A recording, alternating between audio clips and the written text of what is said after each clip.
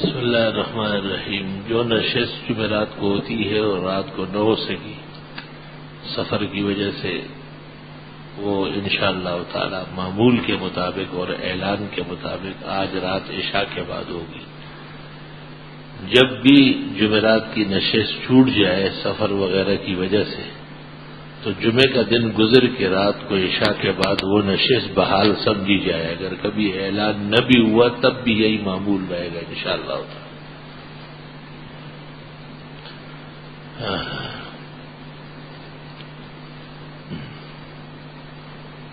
جو جوابات سننے کے لیے آگے آ رہے ہیں، وہ نمازیوں کا احترام فرمائیں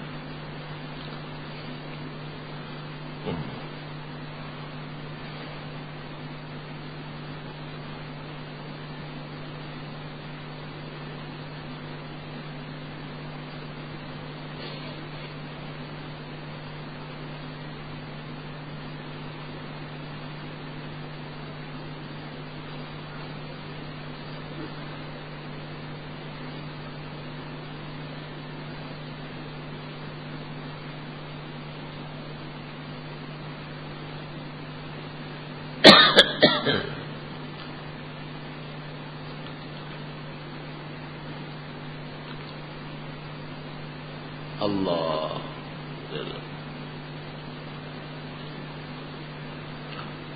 انہوں نے پوچھا ہے کہ عورت یا مرد کا سیدھا نہ منا ہے کیا جن میں سینہ آسمان کی طرف ہو؟ ہے اس کو سیدھا لیٹ نہ منا نہیں، الٹا لیٹ نہ منا ہے عورت یا مرد کا الٹا لیٹنا کہ منہ نیچے کی طرف ہو اور پشت آسمان کی طرف ہو۔ وہ ام مزج آتو وہ ام نوم والا زج آتل معکوسا فیت زج آتو اہل نار آزن اللہ منہا۔ امام العصر حضرت شاہ صاحب لکھتے الٹا لیٹنا جہنمیوں کا طریقہ ہے۔ اللہ محفوظ فرمائے۔ طلاق کے الفاظ دل ہی دل میں کہے جائے یعنی ہون جبڑے ساکت اور کوئی ایسی آواز نہیں نکلی۔ الفاظ طلاق کے جب تک نہ کہے جائے ہزار بار دل میں کہا جائے، کچھ بھی نہیں ہوگا۔ طلاق زبان کا فعل ہے، دل کا فعل نہیں ہے۔ طلاق واقع ہونے کے لیے طلاق کے الفاظ کم از کم کتنا زور سے کہنا ضروری ہے، جس کو آدمی خود سن سکے۔ عورتوں کو جنتی مرد ملیں گے۔ رمضان مبارک وطر با جماعت کے بعد اجتماعی دعا کیسا ہے، درست اور صحیح ہے۔ وطروں سے پہلے اور تراوی کے بعد دعا مانگنا، خلاف سنت معلوم ہوتی ہے۔ کیونکہ فقہ نے قاعدہ لکھا ہے کہ ہر چار رکعت تراوی کے بعد تسبیح پڑھی جائے۔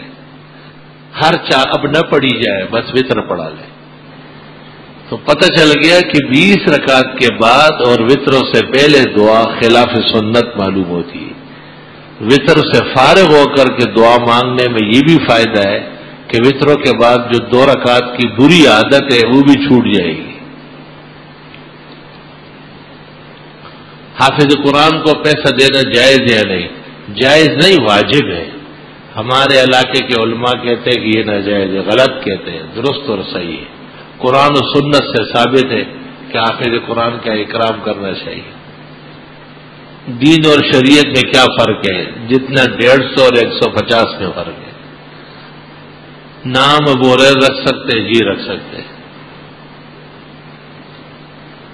میرے امتحانات ہونے والے مجھ سے پڑھائی نہیں ہوتی، کچھ یاد نہیں ہوتا، آپ سے کو وزیر جی، واہ واہ شاہ ویسے شاہ ویسے مجھ سے پڑھائی بھی نہیں ہوتی، یاد بھی نہیں ہوتا، وظیفہ میں دوں، تجھے تو وظیفہ دینا، وظیفے کی توہین ہے۔ آپ پہلے اپنی ڈیوٹی بجائے۔ میں نے ایک واقعہ سنا ہے ایک ثانی عورت نے اپنے جوتے کے ذریعے پیاسے کتے کو پانی پلایا تو اللہ نے اس کی مخلت کی۔ کیا یہ حدیث بخاری شریف میں درست اور صحیح ہے۔ شوال کے چھ روزے حنفی مذہب میں مکرو ہے۔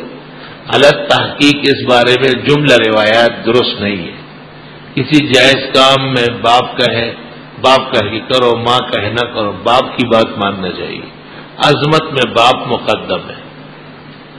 آپ نے کہا شوال کے چھ روزے بدت ہے، آپ سے یہ بتایا کہ فقہ کون سی کتاب میں شوال کے چھ روزے حضرت سے اس کی کیا ثبوت ہے؟ شوال کے چھ روزے نہیں رکھو۔ حالانکہ جعید البا نے اس پر کتابیں لکھی، شوال کے چھ روزے رکھنا حاجی ثابت وضاحت ہے۔ احسن المقال فی کراہیت سیام ست شوال۔ ایک سو بیس علماء کے اقوال پیش کیے ہیں کہ یہ ناجائز حرام گناہ ہے۔ اور امام ابو حنیف اور امام مالک میں اس کی کوئی گنجائش نہیں ہے۔ بے حساب کتابوں کی عبارتیں جلد اور صفحے میں نے لکھے کہ ان کتابوں میں لکھا ہے کہ شوال کے چھ روزے ناپسندیدہ ہے، یا مکرو ہے، یا نہ رکھے جائے، امام مالک اس کو حرام اور بدت کہتے تھے تیرا جی نہ چاہے تو بانے ہزار ہے، آنکھیں اگر بند ہے تو پھر دن بھی رات ہے۔ کتاب تو میں نے ایک کی جگہ اس پر دو لکھی ہے، ایک احسن الاقوال ہے اور اس کے بعد دوسری احسن المقال ہے۔ اور ملک کے پانچ مختدر علماء، مفتی نظام الدین شاہ زئی محقق سر فراز خان استاد العالم مولانا حسن جان استاد الرب الجم مولانا شیر علی شاہ، جامع اسلامیہ بنوری ٹاؤن کے استاد العزیز قاری مفتاح اللہ، تمام اکابر علماء نے دستخط کیے ہیں کہ شوال کے چھ روزے مکرو ناپسندیدہ، برے، غلط چھوڑنے کے لائق ہیں۔ نہ رکھنا ہے سنت ہے۔ ہو گیا۔ ہماری مسئلے کا امام کہتا ہے، فرض نماز کے بعد دعا کرنا بدت ہے۔ وہ امام خود بے دیتی ہے۔ وہ خود بے دیتی اور بے دین ہے۔ اہل حق کے ہاں چودہ سو سال سے رواج ہے کہ فرضوں کے بعد دعا مانگتے ہیں کئی کئی سنتوں کے بعد بھی مانگتے ہیں۔ دونوں ثابت ہے افضل اور بہتر فرضوں کے بعد دعا ہے۔ حضرت بنوری نے معارف سنن میں، مولانا مفتی محمود نے تفسیری محمود میں، مفتی محمد شفیع نے احکام دعا میں، مفتی اعظم ہند مولانا کے اللہ نے ان نفائص المرغوبہ میں، حکیم الامت نے استحباب الدعوات فتح امدادیہ جلد اول پانچ سو پچاس صفحہ، امام الاسر مولانا شاہ فیض الباری، شرح بخاری۔ ان تمام اکابر نے فرضوں کے بعد انفرادی اور اجتماعی دعا دونوں کو سنت مستحب اور دین کے مطابق کہا ہے۔ ہماری دانش میں فرضوں کے بعد دعا منع کرنے والے بدتیوں کی ایک ناکارہ قسم ہے اور غلط لوگ ہیں۔ تفصیلات کے لیے ہمارے بزرگ دوست مولانا محمد عبد المابود صاحب نے راول پنڈی سے اس پر کتاب لکھی ہے، فرض نمازوں کے بعد اشتہائی دعا کا مسئلہ۔ اس میں میرا ایک فتو بھی شامل ہے۔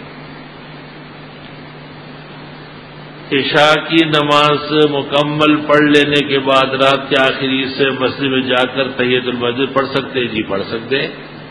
بشرطے کہ وطر نہ پڑے ہو۔ فطر پڑھنے والا رات کو کوئی نفل نہیں پڑھ سکتا۔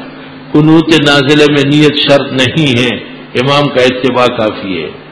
امام دعا پڑھتا ہے تو مقتدی آہستہ آہستہ آمین آمین۔ کراچی شہر میں نماز اشراق چھ بج کر پچاس بج کر پڑھوتا ہے، لیکن سے مقام ہے جہاں سورج پہلے نکلتا ہے۔ تو کس وقت؟ جہاں سورج نکلے، سات منٹ بعد نماز اشراق پڑھو۔ ختم قرآن مٹھائی وغیرہ بدت ہے۔ ایک ویسی کتاب بتائے جس میں صفوں کی درستگی وغیرہ سب مسائل ہو۔ نماز کی کتاب جو مولانا مفتی ولی حسن کی ہے، اس میں لکھا ہے۔ آپ سے ادھر جدید مبارک، جس کا مفہوم ہے، شرک ایسا جیسے کالی رات میں کالے پہاڑ پر کالی چوئنٹی چڑھ رہی ہو۔ جناب، یہ تو کوئی بتا نہیں سکتا ہے، اور نہیں کسی کو بھی پتا ہے کہ پہاڑ پر چوئنٹی چڑھ رہی ہے کہ نہیں، اور ہمیں بھی اس بات کا پتہ نہیں ہے۔ اور شاہباز تجھے تو لاہور کے عجائب گھر کے سامنے بٹھایا جائے۔ کہ لوگ وہاں کے اونٹ اور ریچھ دیکھنے سے پہلے آپ کی شکل دیکھیں۔ پیغمبر کا مطلب یہ نہیں ہے کہ آپ رات کو جس پہاڑ پہ چلے جائے چونٹیاں دیں گے پیغمبر کا مطلب حدیث سے کہ چھوٹی سی چھوٹی شرک سے بھی بچے۔ یہ مطلب ہے۔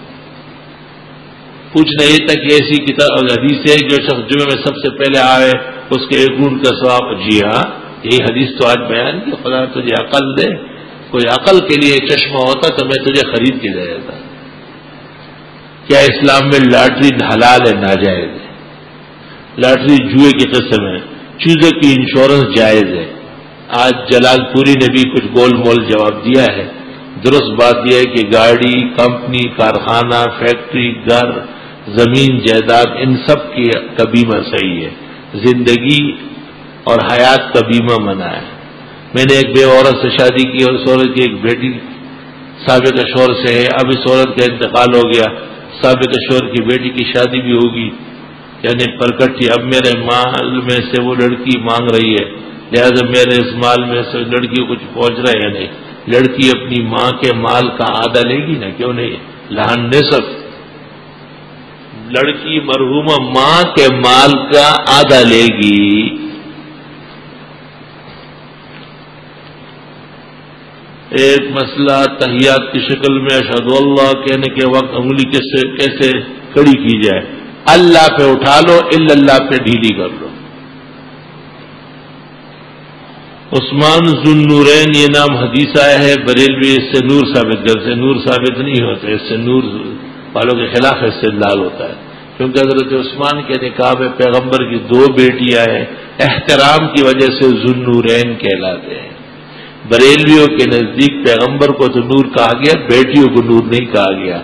اس کا استدلال بھونڈے کا ہے، کوئی حقیقت نہیں۔ دوران نماز جمائی کر کے تو کون سا ہاتھ، دائیں ہاتھ کے اندر کی ہتھیلی قیام میں اور اور حالات میں بائیں ہاتھ کی الٹی ہتھیلی منہ پہ رکھے۔ سفر تین مہینے کا ایک شخص، اس دوران ہفتے میں تین دن ایک شہر اور تین دن دوسرے شہر میں، تو کیا اس پر صرف فرض نماز پڑھنا ضروری ہے؟ سفر تین مہینے کا ہے۔ تو بس مسافر ہے وہ۔ جہاں بھی وہ جائے گا وہ مسافر ہے، چار فرض دو پڑے گا۔ بقیہ مغرب، فجر، وطر، بحال ہے۔ سنتوں میں اختیار ہے۔ صاحب، طالب علم، سید ہو تو اس کے لیے زکات دینا جائز نہیں۔ مدرسے کی طرف سے وظیفہ کھا لینا اور قرآن خانی میں جانا، پیسے لینا سب جائز ہے۔ سید آدمی کو زکات نہ دے اور نہ وہ لے، باقی جائز ہے۔ دو دن بعد میرے والے کی برسی ہے۔ گھر والوں نے مجھے اور میرے شور کو بلایا ہے۔ ایسی برسی بدت ناجائز ہے، اس میں شرکت گناہ کبیرہ ہے۔ کوشش یہ کہے کہ نیک لوگ کا کاروبار صحیح نہیں چلتا۔ گناگار لوگ کاروبار اللہ صحیح چلاتی غلط ہے۔ جھوٹ ہے۔ اس سال رمضان کے مہینے میں جن لوگوں نے اٹھائیس دن روزے رکھے، وہ ایک دو دن روزے اور رکھ لیں۔ وہ ایک یا جو لوگ یہاں روزے رکھ کے حرم شریف گئے عمرے کے لیے اور وہیں عید کی ہے، ان کے بھی روزے کم ہو گئے، وہ بھی رکھ لیں۔ سولہ اللیل سے کیا مراد ہے؟ رات کو سونے سے پہلے جتنی نوافل پڑی جائے سولاد اللہ لے سجے سے اٹھتے وقت ہاتھ رکھ کر اٹھے اگر ضرورت ہو، ورنہ بغیر ہاتھ اٹھے جسم کے دباؤ سے اٹھے نماز با جماعت ہو رہی ہے، مسجد کو چاروں طرف سے بند کیا ہوا ہے پیر والے نمازی کی نماز ہو جائے گی۔ آواز آتی ہے، امام کے انتقالات کی نماز ہو جائے گی۔ خبر کو پختہ کرنا، اس کی بیج کو کچا چھوڑنا جائز ہے۔ میری اہلیہ کی طبیعت بہت خراب ہے، اللہ صحت و شفا دے۔ والدہ کو کینسر سے دعا اللہ پاک زندگی و صحت دے والد محترم کی صحت ابھی اللہ صحت بحال فرمایا حافظ یاد محمود کو لاہور میں گارڈ نے شہید کیا، ان کے لیے دو اللہ پاک ان کی بخشش فرمائے۔ الحمد للہ رب العالمین۔ نستغفرك اللهم ونسألك السلام والعافية. لا إله إلا الله وحده لا شريك له. له الملك وله الحمد وعلى كل شيء قدير. ولا يزوج من الله ولا صلى الله تعالى عليه. وسلم